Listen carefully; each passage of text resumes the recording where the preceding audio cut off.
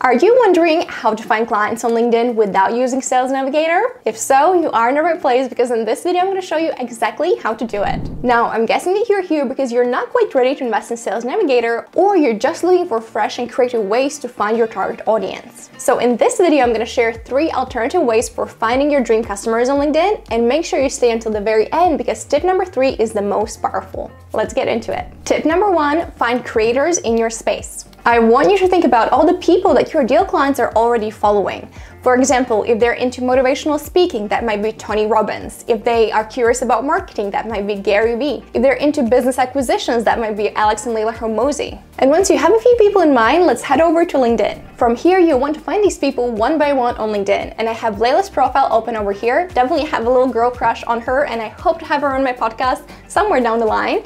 And now what we're gonna do is click under Show All Posts and what I want you to do is basically look at the likes and comments. So all the people who are engaging with Leila's content, because these people are basically self-selecting themselves. These are the active users on LinkedIn, and these are all the people who really resonate with the message that Layla is sharing on LinkedIn. So all you would do is go through her posts, click into the likes, and now you're basically scanning through, you're looking at the headlines and you're scanning through who might represent your ideal client avatar. And you're gonna open them up and you're gonna connect with them. Whether your niche is economics, digital pathology, or language coaching, I am sure you can find other people speaking on these topics. And all you have to do is connect with the people who have already raised their hand expressing interest in these subjects. Tip number two, find relevant groups. And I know what you're saying, groups are boring and outdated, and I'm not disagreeing with you. However, when someone asks to join a group, they don't know whether it's gonna be super fun or completely silent. Though what they're doing to help you is saying, hey, I have an interest in this topic. For example, you might be looking to find people who are interested in learning German. So what I would do is put German in a search box and select groups underneath a dropdown. And right now what I can see is that we have a group for German speaking people, German speaking jobs, German speakers, and many other groups. And the international people inside of these groups would likely be quite interested in your German coaching. So what you would do from here is open up a group like this, and if you wanted to see all the members inside of it, you would have to join the group. Now, if you did have Sales Navigator, there's a really cool hack you could do to filter people within this group, and I'm just gonna add a video about that up here in the cards. Though right now, let's move into tip number three, which is events. Now, most businesses are not yet using this method to find their ideal clients, though you absolutely should. And let me show you why. Let's say that your product or service was serving moms, though most people don't actually say that they are a parent on their LinkedIn profile, which means Sales Navigator wouldn't really help you to find them. And in this instance, what I would do is head back over to LinkedIn, put in mom in the search box and select events over here.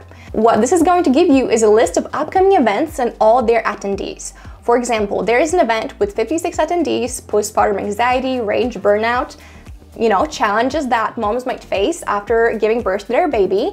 And if this was your ideal audience, what I would do from here is open out this event and the moment you're gonna click this attend button, you're actually gonna be able to see all these 56 attendees who are going to this event. Let me give you another example. Let's just say you're looking for people who refer to themselves as introverts. And again, this is likely not something they're gonna have on their LinkedIn profile. However, if you go back to events, if you put an introvert here, I can see that the second event over here has over 12,000 attendees. That's a lot of people Public Speaking for Introverts with Tony. So again, these are all the people who are identifying themselves as introverts, are looking for help with public speaking, and all you have to do is click attend and you're gonna see all of the people, all the 12,000 people attending this event. There you have it, my love. Those were three alternative ways for finding your customers on LinkedIn. If you'd like my support with growing your business on LinkedIn and attracting inbound clients to you, definitely send me a message on LinkedIn and ask me more about the LinkedIn Bootcamp. Could you please, please do me a massive favor and hit that subscribe button down below? We have a big goal hitting 100k subscribers on YouTube by the end of 2024, and I could so appreciate your support with this. If you're wondering whether or not Sales Navigator is actually worth the investment, I highly encourage you to check out this video next where I break that down step by step.